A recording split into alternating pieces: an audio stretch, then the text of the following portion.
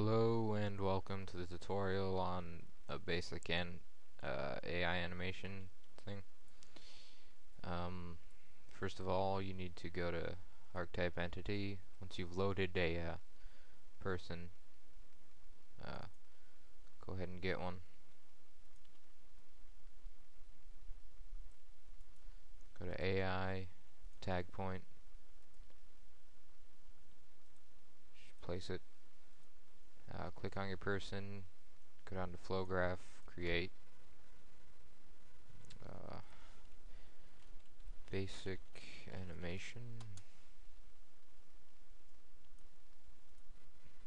add node, misc start, fit to graph view, add node AI, AI go to speed stance, and in entity, entity pose.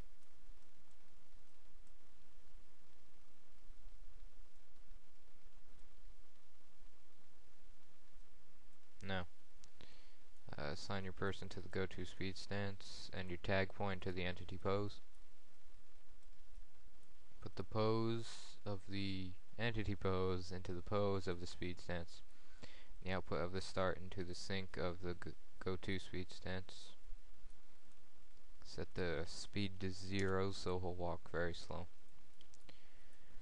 Now uh, add an AI AI animation it's it says here AI anim. So now assign your person to that. And a time delay. Set that to three.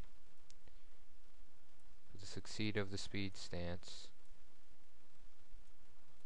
into the sink of the animation and the start of the animation into the delay and the out of the delay into the cancel of the animation it'll uh, create a uh, what this does is once the animation starts it will start the delay and then once these seconds are up it will cancel that animation. Change the method to action. Go to name click on the three dots and just pick one from uh, this list. We'll do uh, sit ground Okay. Test it out.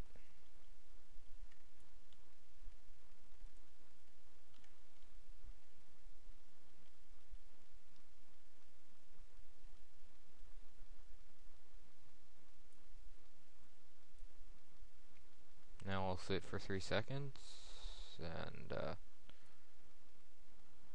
hopefully he's gonna get up. Figure three seconds. There we go. Uh, that is all for this tutorial. Hope it was helpful. Thank you for watching.